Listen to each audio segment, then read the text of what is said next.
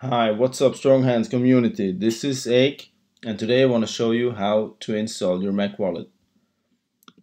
You can just enter this link and download a zip file.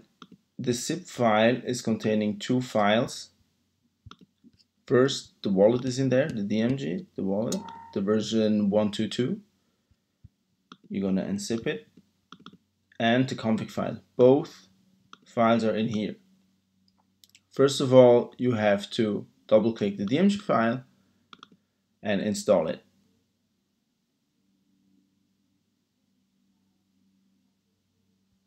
You might want to drop this application into the application folder, but you don't have to. You just drag it over here and drop it. Then you see it's it's down here then you have to close them and go to your hard drive. Go to library to application support and then you should see this folder.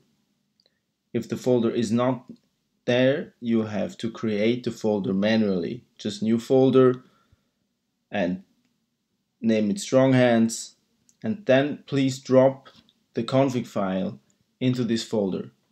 That's it. That's the whole installation. Then you can open up your wallet and it will start syncing. Maybe you have to wait 5 or 30 minutes.